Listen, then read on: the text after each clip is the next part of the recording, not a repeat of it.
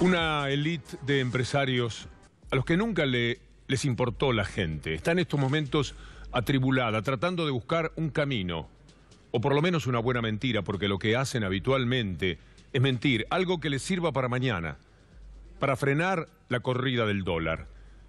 El dólar, el peso, el salario, la desocupación se juntan para que pensemos que más violencia habrá en la sociedad argentina. Anoche el jefe de la bonaerense dijo algo que se escucha por primera vez de un hombre con semejante responsabilidad o con actividades vinculadas a los gobiernos.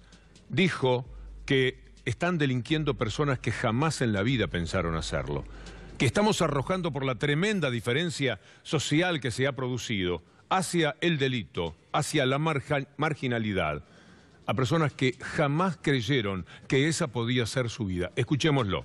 Hay un problema social que es obvio, que hace que, la persona que, tenga la necesidad eh, de comer, por decirlo de alguna manera, el delito más simple aumenta y es sobre el cual más estamos trabajando mm. con las zonas rojas, porque es una, una cuestión, hay gente que delinque, que es la primera vez que está pasando, que antes no lo hacía, pero por una necesidad más que de delinquir, la de un apremio económico, que es lo que está pasando. O sea, la, la, pobreza y la exclusión, la pobreza y la exclusión más extrema lleva a que muchas personas ah. salgan a, robar para comer. Sí, por supuesto. Y se está trabajando sobre esta situación porque el delito que menos se eh, está bajando es ese, el robo, el hurto, el asalto. Entonces hay una, un trabajo del Ministerio de Seguridad eh, sobre las zonas calientes en estos delitos para, para bajarlo, pero el, el tema de la, de la falta de inclusión es un tema que los, los hace que tengan esta, que los lleve a esta situación. Gente que obviamente no ha entrado nunca en el sistema del delito. Lo dice un hombre que está cara a cara con el delito y con quienes los cometen. Un hombre que se da cuenta que hay personas que hasta ayer nomás consiguieron ser lo que se llama personas de bien y que no tuvieron otra salida. El capitalismo es así. Pero también al capitalismo se le puede poner un dique, aquello que llamamos inclusión, o se le puede abrir las compuertas de lo que llamamos neoliberalismo. Hace más de 20 años escribí un libro que se llamó, se llama Un grito en el desierto. Mire usted qué palabras que se pueden perfectamente aplicar ahora frente a la situación que se está planteando. Me importa leerles esto porque tiene más de 20 años. No es aconsejable pegarle tanto al hombre. En el piso 25, alrededor de la mesa del directorio, hay una cierta tranquilidad, pero está la calle, y están los hijos, y están los amigos. No hay un botón eyector para quitarse de encima a esos millones de postergados, desocupados, ofendidos, hambrientos y un mal día revanchistas. La vida no puede valer tan poca cosa. Y si un hombre no vale nada, si es solo un número, la vida de nadie, por más custodios que se tengan y barrios cerrados que se habiten, vale demasiado. Miles de personas han delinquido en los últimos años sin haber imaginado nunca que serían capaces de hacerlo. De nunca a la primera vez hay un larguísimo ejercicio, un miedo y una vergüenza infinitos. Pero de la primera vez a la segunda, el tránsito es un pestañeo. Algo así dijo una vez en la mesa de una mujer que se autotitula, autotitula como la que generó este gobierno, dice ganaron por mí, puede ser vanidad, pero también desde el medio de comunicación donde trabaja, hicieron lo posible para que se llegase a esta situación. En esa mesa, un extraordinario director de cine, un joven argentino, Damián Cifrón, dijo una enorme verdad que después levantó miles de comentarios en contra. Yo estaba, y muchos de ustedes seguramente, muy a favor. El candidato a presidente que prometa que va a hacer desaparecer la, la inseguridad, ese gana la elección. y al mismo tiempo miente. La presidenta jamás habla de inseguridad. Nunca. Es que la inseguridad es fruto de la desigualdad. la desigualdad eh, eh, trae aparejada directamente la violencia. O sea, yo si hubiese nacido muy pobre, en, condiciones infrahumanas, y no tuviese las necesidades básicas cubiertas, yo creo que sería delincuente más que eh, albanil. Ay, Cifrón.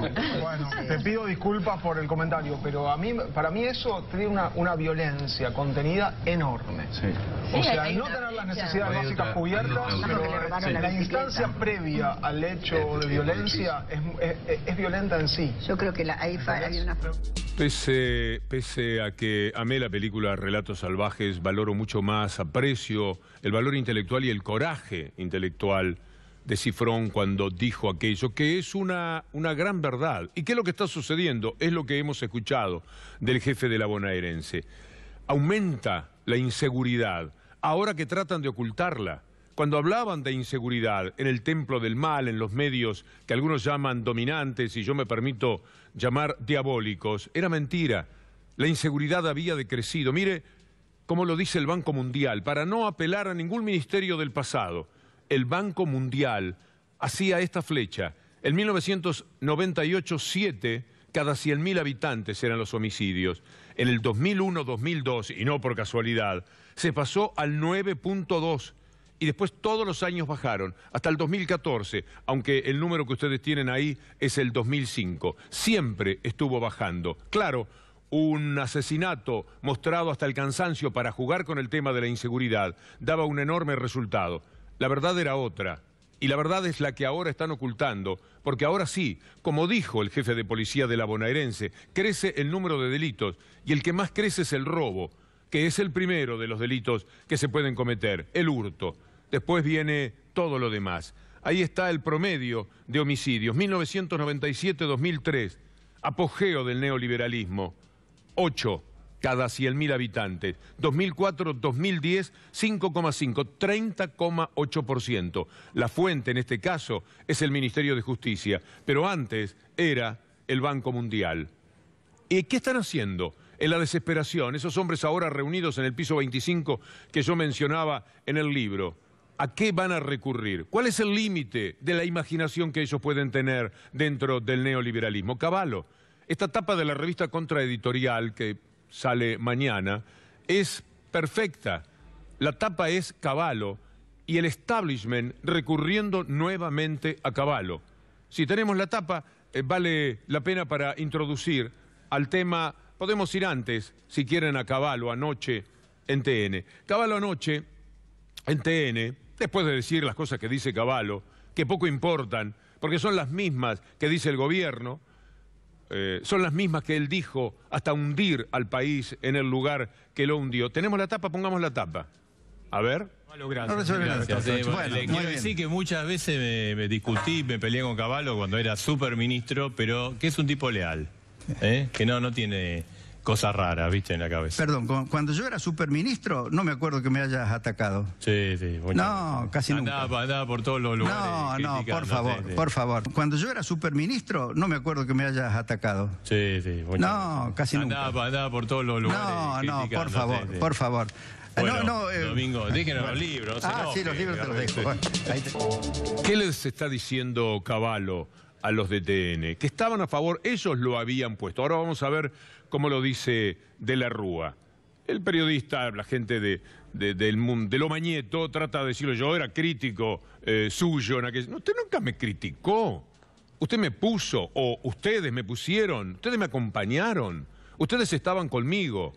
Y de paso podría haberle dicho, y no se olvide que yo le dije a su jefe y a todos los ricos ricos del país que sacaran el dinero antes del corralito. Mañana o pasado vamos a venir con la lista de los que sacaron el dinero antes de que todos los demás argentinos cayeran en el corralito. Pero es muy gracioso, porque tratan de decir, yo lo criticaba muchísimo. Usted dice, no, ustedes no me criticaban nada.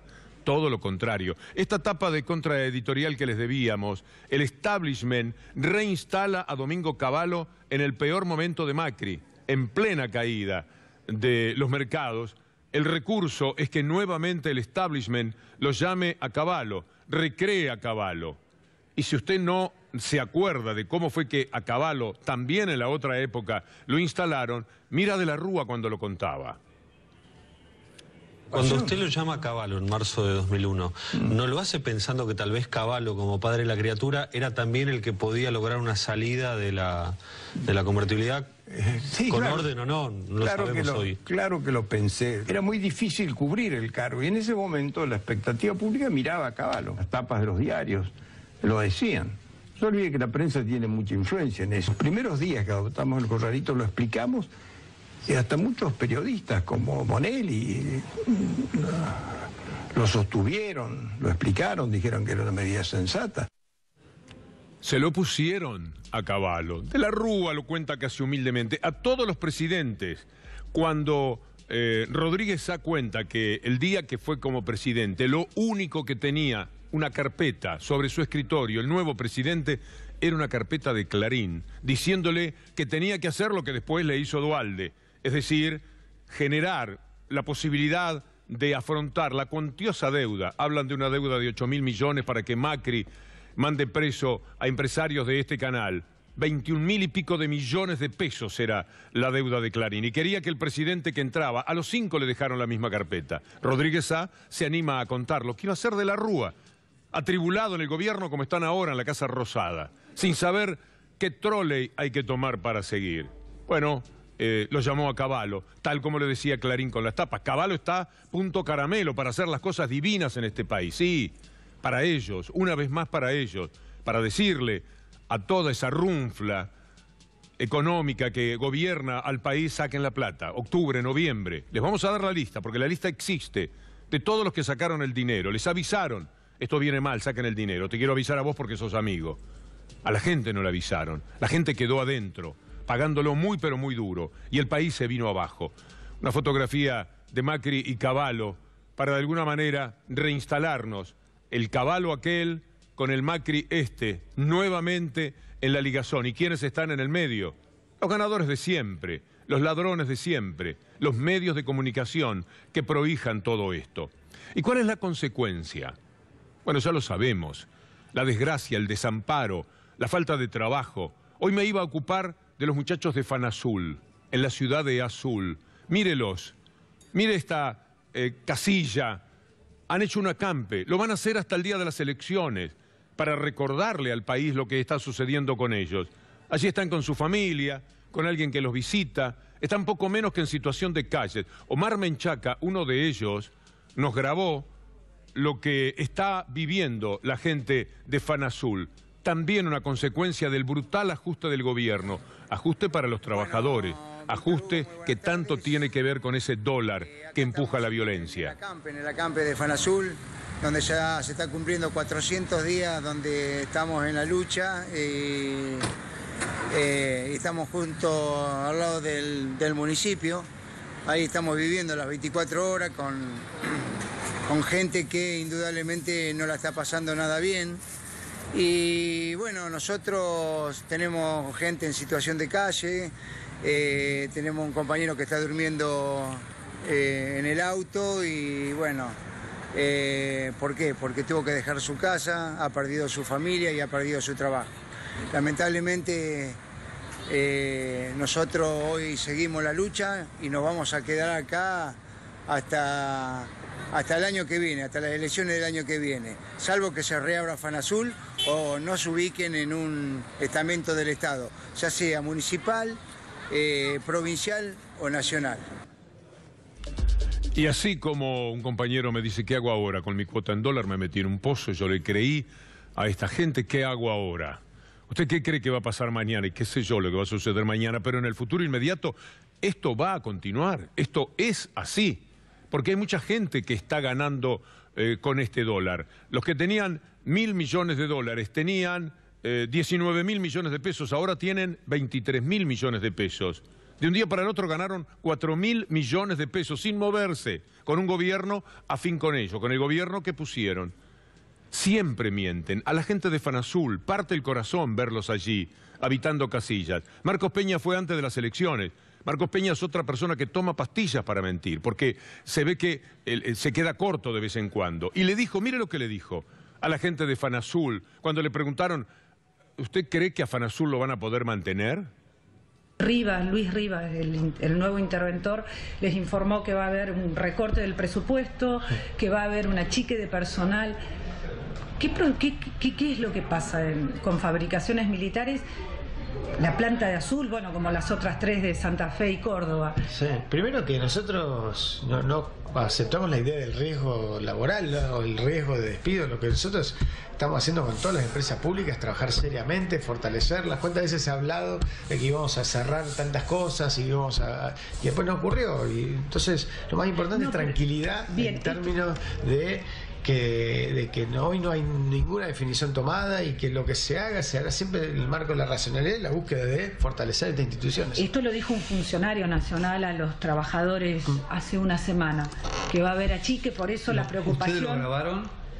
Lo dijeron ellos, por eso yo digo, no lo digo yo. Dijeron, dijeron. No, por eso, por eso yo hay digo, que tener mucha prudencia en este Se los dijo un funcionario nacional a ellos, no a mí, obviamente. Nosotros tenemos otras versiones.